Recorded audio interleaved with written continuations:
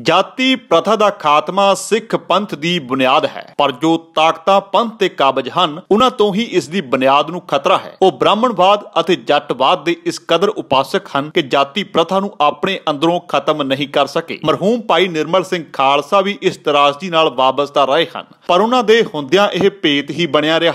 ਰਾਸ਼ਟਰਪਤੀ ਵੱਲੋਂ ਪਦਮ ਸ਼੍ਰੀ ਪੁਰਸਕਾਰ ਨਾਲ ਸਨਮਾਨਿਤ ਸ਼੍ਰੀ ਦਰਬਾਰ ਸਾਹਿਬ ਦੇ ਹਜੂਰੀ ਰਾਗੀ ਭਾਈ ਨਿਰਮਲ ਸਿੰਘ ਖਾਲਸਾ ਵੱਲੋਂ ਸ਼੍ਰੋਮਣੀ ਕਮੇਟੀ ਨੂੰ ਆਪਣੇ ਦੁਖੜੇ ਦੀ ਲਿਖੀ ਚਿੱਠੀ ਹੀ ਉਹਨਾਂ ਦਾ ਦੁਖਦਾਈ ਅੰਤ ਹੋ ਨਿਬੜੀ ਪ੍ਰਾਪਤ ਜਾਣਕਾਰੀ ਮੁਤਾਬਕ ਲਿਖਤ ਬਹੁਤ ਲੰਬੀ ਹੈ, ਪਰ ਪੰਥਕ ਸੋਚ ਰੱਖਣ ਵਾਲਿਆਂ ਨੂੰ ਪੰਥ ਦੇ ਭਵਿੱਖ ਲਈ ਚਿੰਤਤ ਹੋਣਾ ਜ਼ਰੂਰੀ ਹੈ। ਦੱਸਣ ਮੁਤਾਬਕ ਭਾਈ ਨਿਰਮਲ ਸਿੰਘ ਨੇ ਉਸ ਸਮੇਂ ਦੇ ਹਰਮੰਦਰ ਸਾਹਿਬ ਦੇ ਹੈੱਡ ਗ੍ਰੰਥੀ ਮੋਹਨ ਸਿੰਘ ਬਾਰੇ ਜ਼ਿਕਰ ਕੀਤਾ ਹੈ ਕਿ ਮੈਂ ਦਰਬਾਰ ਸਾਹਿਬ ਵਿਖੇ ਕੀਰਤਨ ਦੀ ਹਾਜ਼ਰੀ ਸਮੇਂ ਭਗਤ ਧੰਨਾ ਜੀ ਦਾ ਸ਼ਬਦ ਗਾਇਨ ਕੀਤਾ ਸੀ। ਸਮਾਪਤੀ ਸਮੇਂ ਮੈਨੂੰ ਮੋਹਨ ਸਿੰਘ ਨੇ ਕਿਹਾ ਕਿ ਤੁਸੀਂ ਧੰਨੇ ਜੱਟ ਦਾ ਸ਼ਬਦ ਗਾ ਕੇ ਬਾਬੇ ਬੁੱਢੇ ਦੀ ਗੱਦੀ ਨੂੰ ਖੁਸ਼ ਕਰ ਦਿੱਤਾ ਹੈ। ਐਵੇਂ ਪਛੜੀਆਂ ਜਾਤਾਂ ਦੇ ਸ਼ਬਦ ਗਾਉਂਦੇ ਰਹਿੰਦੇ ਹੋ। ਭਾਈ ਸਾਹਿਬ ਲਿਖਦੇ ਹਨ ਕਿ ਹੈੱਡ ਗ੍ਰੰਥੀ ਦੇ ਮੁਖ ਚੋਂ ਇਹ ਸੁਣ ਕੇ ਮੇਰੇ ਪੈਰਾਂ ਥੱਲੋਂ ਜ਼ਮੀਨ ਖਿਸ ਗਈ। ਭਾਈ ਸਾਹਿਬ ਨੇ ਇਹ ਵੀ ਦੱਸਿਆ ਕਿ ਤਾਬਿਆ 'ਚ ਬੈਠੇ ਰਾਗੀ ਸਿੰਘਾਂ ਨੂੰ ਗਾਲਾਂ ਕੱਢਣਾ ਉਹਨਾਂ ਦੀ ਆਦਤ ਸੀ। ਆਪਣੀ ਹੱਡ ਬੀਤੀ ਦਾ ਜ਼ਿਕਰ ਕਰਦਿਆਂ ਭਾਈ ਸਾਹਿਬ ਨੇ ਕਿਹਾ ਕਿ ਮੈਂ ਵਿਦੇਸ਼ ਤੋਂ ਵਾਪਸ ਆ ਕੇ ਪਰਿਵਾਰ ਸਮੇਤ ਦਰਬਾਰ ਸਾਹਿਬ ਮੱਥਾ ਟੇਕਣ ਗਿਆ ਸੀ। ਪਰਕਰਮਾਂ 'ਚ ਮੋਹਨ ਸਿੰਘ ਮਿਲ ਗਏ।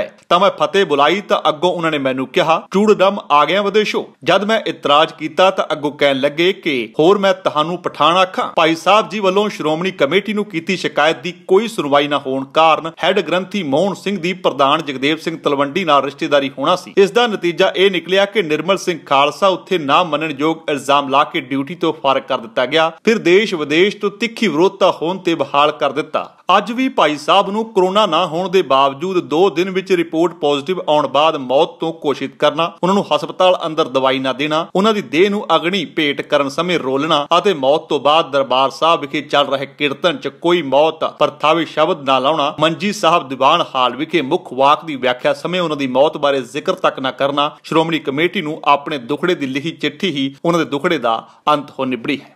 ਜੇਕਰ ਤੁਹਾਨੂੰ ਸਾਡਾ ਇਹ ਉਪਰਾਲਾ ਚੰਗਾ ਲੱਗਾ ਹੈ, ਤਾਂ ਇਸ ਨੂੰ ਲਾਈਕ ਕਰੋ ਸ਼ੇਅਰ ਕਰੋ ਅਤੇ ਸਾਡੇ YouTube ਚੈਨਲ ਨੂੰ ਸਬਸਕ੍ਰਾਈਬ ਕਰੋ।